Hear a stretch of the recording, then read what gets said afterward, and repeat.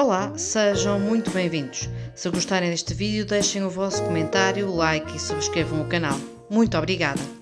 O ator Rogério Samora continua internado na unidade de cuidados intensivos do Hospital Amadora Sintra desde 20 de julho, devido a uma paragem cardiorrespiratória nas gravações da novela Amor Amor da SIC.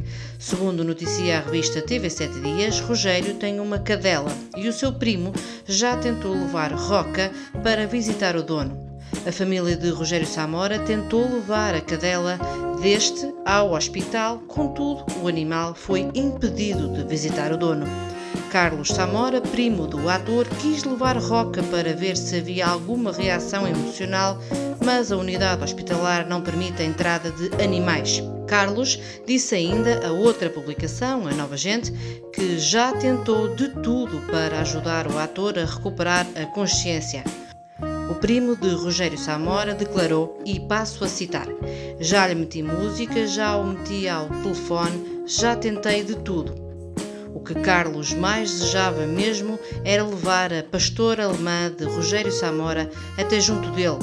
O Rogério adora e toda a gente sabe que os animais podem ajudar, mas o Hospital Amadora Sintra, por ser público, não permite a entrada de animais.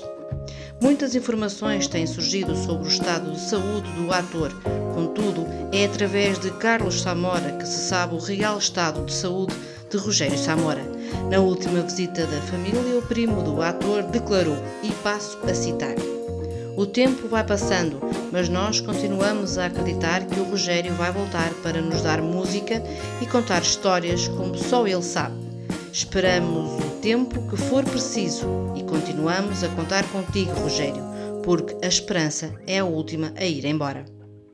A Rogério Samora desejamos rápidas melhoras e que volte em breve para junto de quem o ama.